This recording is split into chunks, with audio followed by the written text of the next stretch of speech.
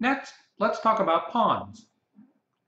Ponds are usually shallow enough so that if the water is clear, sunlight can reach the bottom and plants can grow throughout all of the pond. Plant roots grow into the pond bottom and hold the soil, making the water even clearer and allowing more plants to grow at greater depths. This is important to the life of a pond because the plants produce much more than food. Being shallow allows a pond's water temperature to remain about the same everywhere in the pond. The pond's water temperature changes quickly as air temperature goes up or down. Dissolved oxygen in a pond can also change fast. Underwater life depends on oxygen in the water. The main sources of dissolved oxygen are surface air and photosynthesis by plants and algae in the water.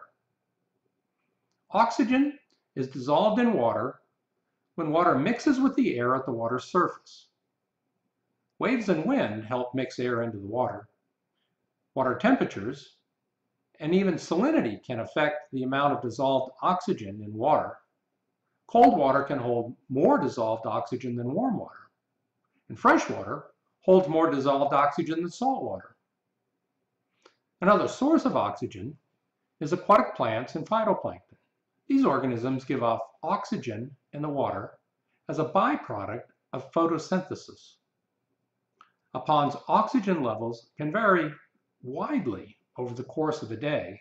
This happens because during the day, air from the surface and oxygen from plants is constantly replenishing the dissolved oxygen that's consumed by animals and by aerobic decomposition of detritus and other decaying matter in the water and along the surface of the pond's bottom.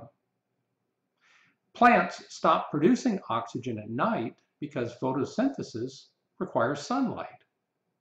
During the night, oxygen continues to be used by animals and by aerobic decomposition.